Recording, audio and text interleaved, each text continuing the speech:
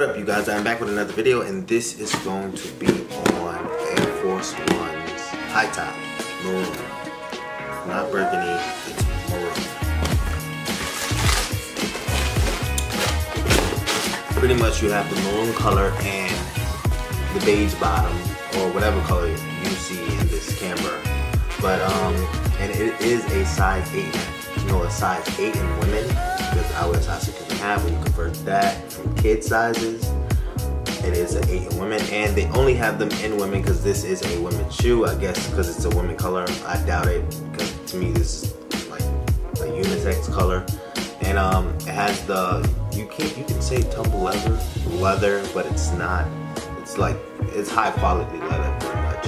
And then you have the shoelaces and on the toe tag it's red or you, you can pass for maroon burgundy but in my eyes it's red um, and then also the shoelaces. It's not the normal shoelaces that you see on the high top white Air Force ones. These are a bit thicker.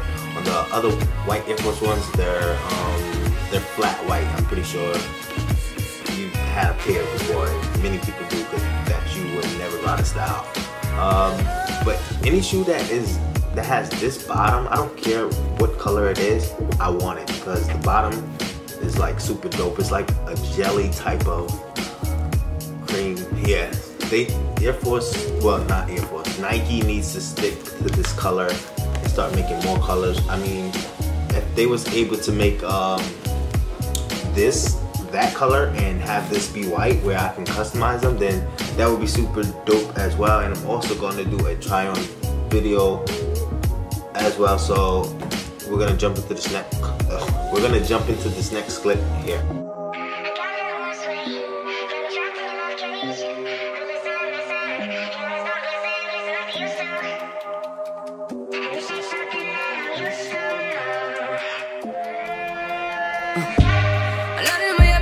I spend a little time on the bad one. I got a little model when the bitch that you fuck, make